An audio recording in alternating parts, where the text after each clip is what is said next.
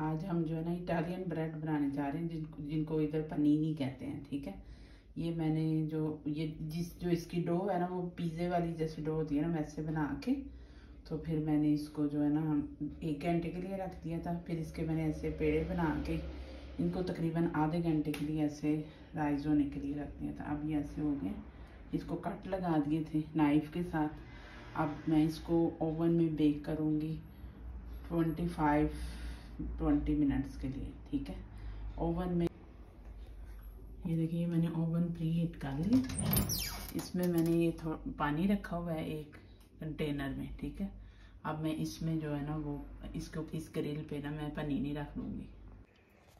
ये देखिए, ये अब इसमें मैंने रख दी इसको हम 25 मिनट के लिए जो है ना, इसको बेक करेंगे, ठीक है? इसी पनीनी को हम बेक करेंगे।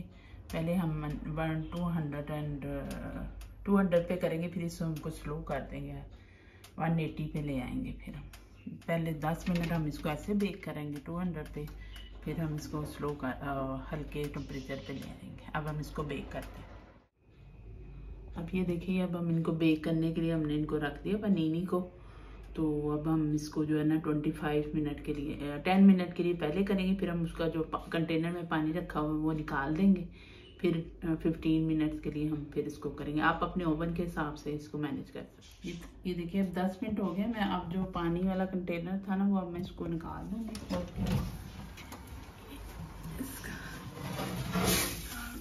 क्योंकि इससे ज़रा स्टीम हो जाती है। ठीक है, अब हम इसको, वैसे तो ऑलमोस्ट ये हो गए। ये देखिए, ये अच्छे, खूबसूरत हो गए। अब मैं पाँच मिनट के लिए तकरीबन इसको और रखूँगी और इसको मैं हल्का कर दूँगी वन एट्टी पे इसको कर दूँगी। ठीक है? इसको मैं पाँच मिनट के लिए और इसको बेक करती ओवन को हम ऑफ़ कर देते हैं, ठीक है?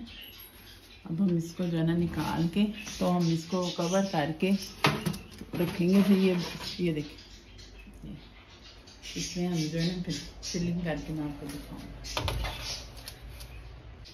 अब मैं इसको जो है ना कवर करके रख देती हूँ पाँच से दस मिनट के लिए। फिर ये फिर बिल्कुल सॉफ्ट हो जाएँगे।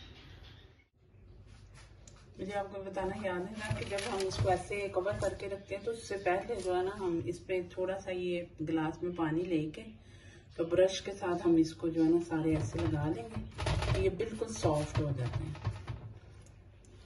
ना भी लगा, अगर आप इनको क्रिस्पी रखना चाहते हैं तो ना लगाएँ। अगर आप थोड़े से इसको सॉफ्ट रखना चाहते हैं तो ऐसे जो है ना, इसके ऊपर सारा ऐसे ब्रश के साथ इसको पानी लगा लेते अब हम इसको थोड़ी देर के लिए कवर करके रखते हैं। ये हमने इसको 10 मिनट के लिए कवर करके रखा था ना, ये देखिए, ये कैसे अब सॉफ्ट हो गए बिल्कुल, ये देखिए ये देखिए, ये बिल्कुल सॉफ्ट होगा मैं इसको कट करके तो इसके अंदर ये टूना फ़िश आप अपनी मर्ज़ी से कोई भी चीज़ें लेंगे, ये सैलड है, ये सारे सैलड ऑलिव्स हैं सैलड के पत्ते हैं चीज़ है टमाटर है। अब इसको इसमें फिलिंग करेंगे मायोनीज लगा आप कुछ भी जो आपको पसंद है, आप वही लगा के जो है ना इसको, इसके इसके साथ इसको फिल कर सकते हैं, ये देखिए ये देखिए कैसे सॉफ्ट है बिल्कुल। इसको हमने पानी लगाया था ना ब्रश के साथ ये बिल्कुल सॉफ्ट हो गया।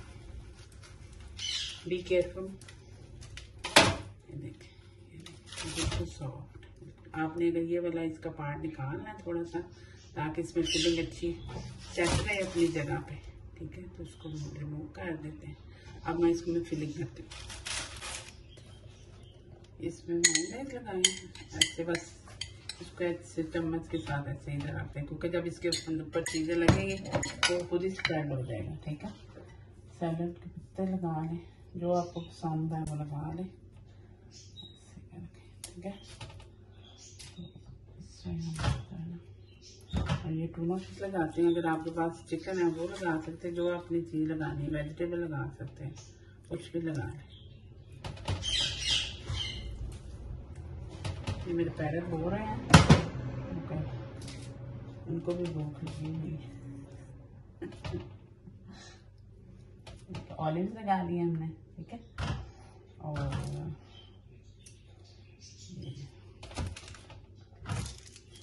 ठीक है। जो आप लोग आपकी पसंद की चीज़ें वो आप लगाना चाहते हैं तो उसमें फिलिंग कर सकते हैं, ठीक है? चलें जी, ये देख।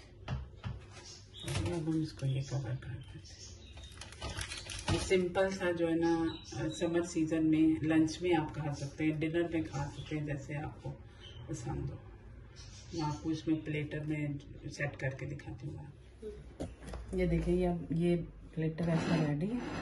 ये लेमन सोडा ले लें सेवन अप ले लें। ये मैंने इसमें लेमन और सेवन अप थोड़ी सी डाल के तो आइस डाल के। ये देखिए, अब तैयार हो गया। ठीक है? ये बिल्कुल सॉफ्ट है। ठीक है? इंजॉय करें। तो मैंने, मुझे कमेंट करके बताएँ आपको कैसा लगा। Thank you for watching the video